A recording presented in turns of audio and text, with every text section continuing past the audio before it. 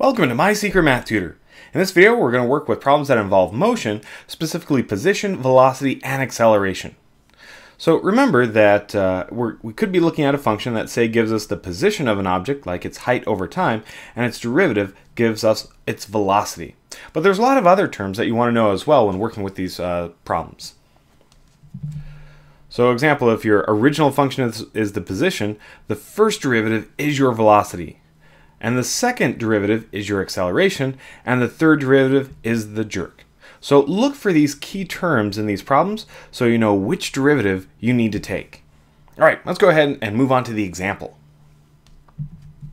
Uh, for this example, I have a position function, t cubed minus 12t squared minus 45t, and it represents the position of a particle in meters after t seconds.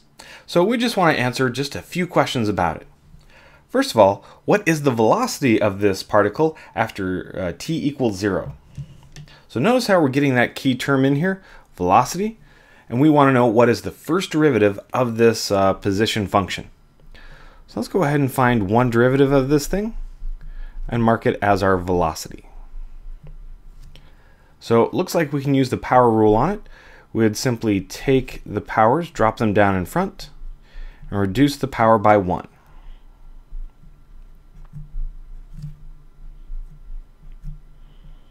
All right, so this represents my velocity. Now, we can figure out what the velocity is after zero seconds by plugging in a zero.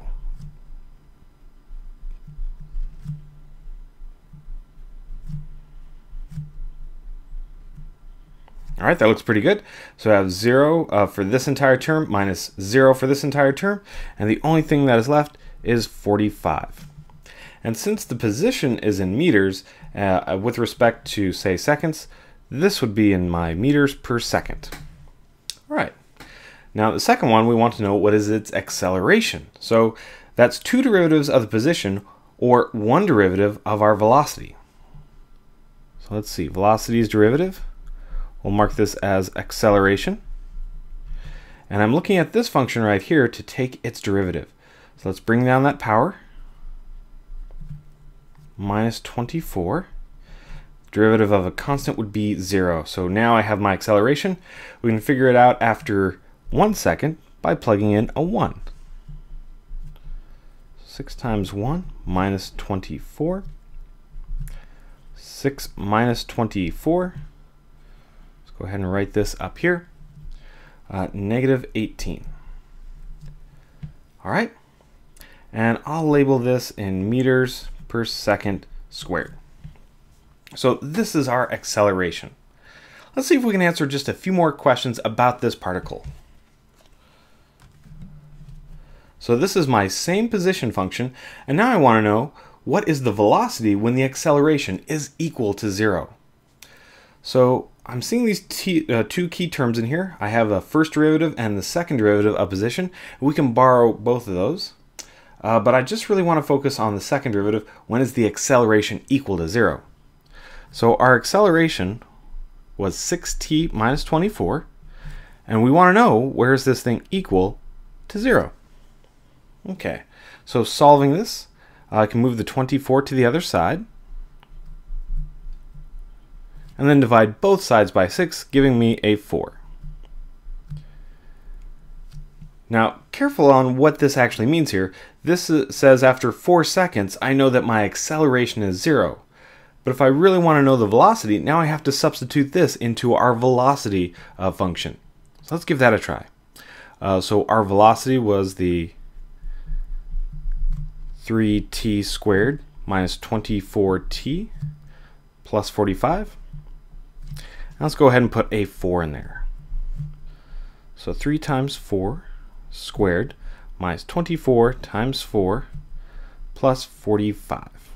All right, so a little bit of simplifying to do with this one, not too bad. I have 3 times 16 right here. That's a 48 minus 24 times 4 is 96 and plus 45. So combining all of these numbers together, I get a negative 3. And this number here is our velocity, Let's go ahead and label it in meters per second. So what is the velocity uh, when acceleration equals zero? Negative three meters per second. All right. Kind of tricky, had to pick that one apart. Let's do one last one. What is the total distance traveled from t equals zero to four? Now, at first glance, it looks like this one is simply talking about the position of the particle. You know, where is its position after zero seconds and where is its position after four seconds. But actually, there's a little bit more going on with this when you're talking about the total distance traveled. Uh, to think about what uh, might be working here, think of what happens when, say, our particle starts at a spot, goes in a certain direction, and then maybe it actually turns around.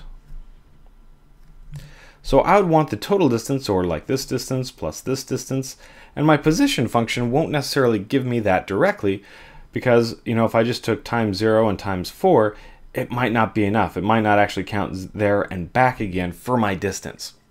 So the first thing I need to check is, you know what, is there any time along the way does my particle change direction?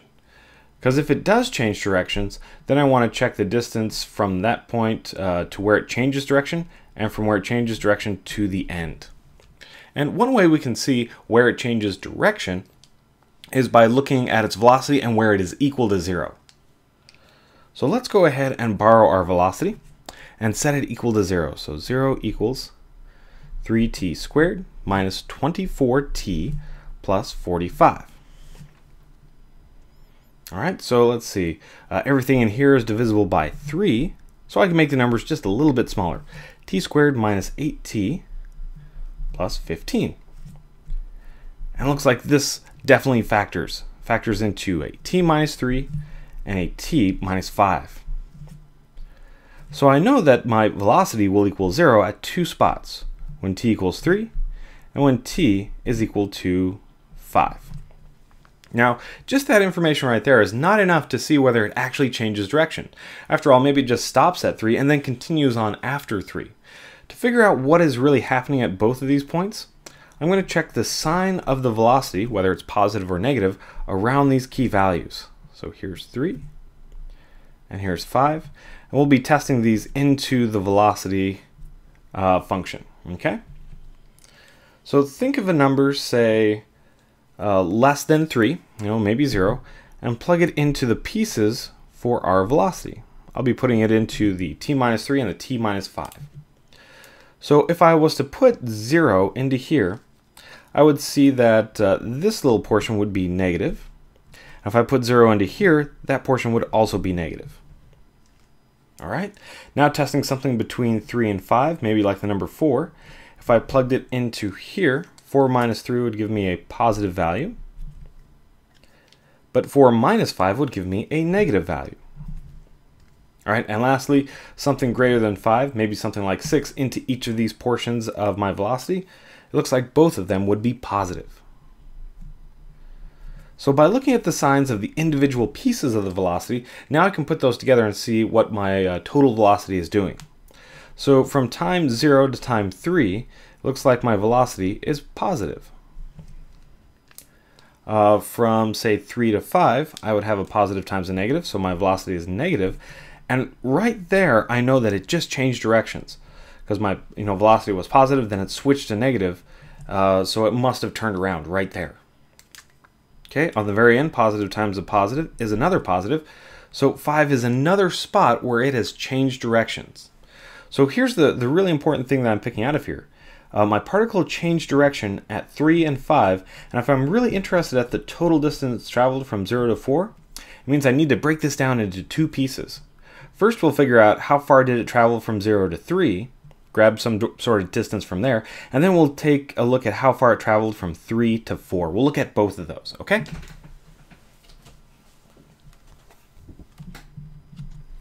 All right, so let's start off with the distance. Say from 0 to 3. To figure out that distance, we can just simply use our position function at time 0 and time 3. So imagine plugging 0 into your position function.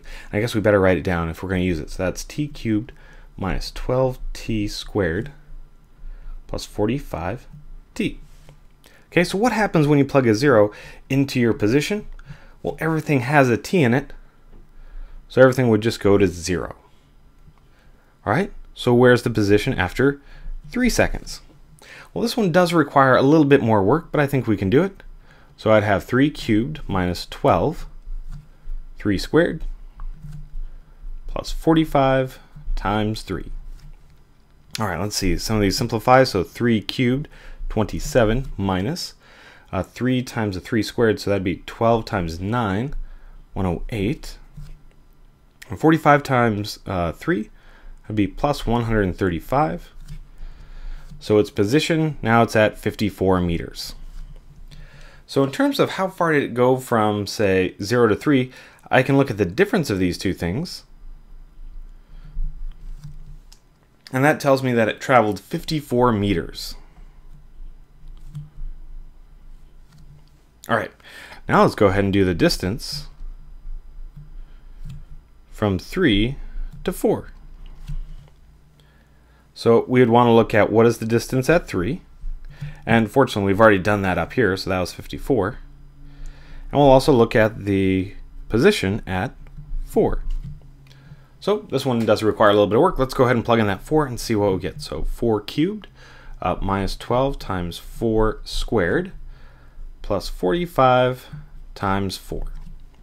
All right, simplifying this guy down, I would get a 64 minus, uh, let's see, 12 times 16. So 192 plus, uh, 45 times 4, 180. All right, 64 minus 192 plus 180, that is 52. So to get my distance, I want to see how much it has traveled from 54 to 52. So we'll subtract those guys and I can see that it has traveled 2 meters during that distance. Alright, so in the big picture, here's what we're really getting. So I had my particle start at, say, 0, and then after 3 seconds, looks like it traveled a total of 54 meters. Then from 3 seconds to 4 seconds, I know it turned around, it went the other direction, but it didn't go very far, it only went 2 meters the other direction. So I know that it went a total of 54 plus 2, or 56 meters. All right. So be very careful when working through problems like this, uh, so you know whether you're looking at the first derivative or second derivative, or even possibly even the third derivative. Also, be very careful on when you're solving many of these different equations to see if you're really getting something like a velocity, or you've simply solved it for a time. Uh, that can make a big difference in what you need to do with that information. All right?